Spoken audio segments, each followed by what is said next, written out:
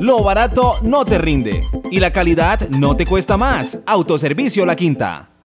Por 10 días, asegura Jorge Baena, director del Inderva, fue suspendido el entrenador del club Athletic Ball, Diego Saavedra, porque según el funcionario, el líder deportivo, realizó un evento masivo en el escenario sin los respectivos permisos. Estamos hablando de más de 300 personas, los cuales eh, dichos eventos requieren unos permisos y pues este club primero pues no, nos notifica a nosotros, no nos hace ninguna eh, eh, solicitud de permiso. los niños están en riesgo no contaban con los eh, entes de socorro.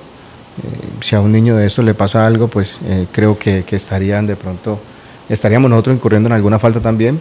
Sobre la acción de tutela, Baena asegura que no ha sido notificado de la misma.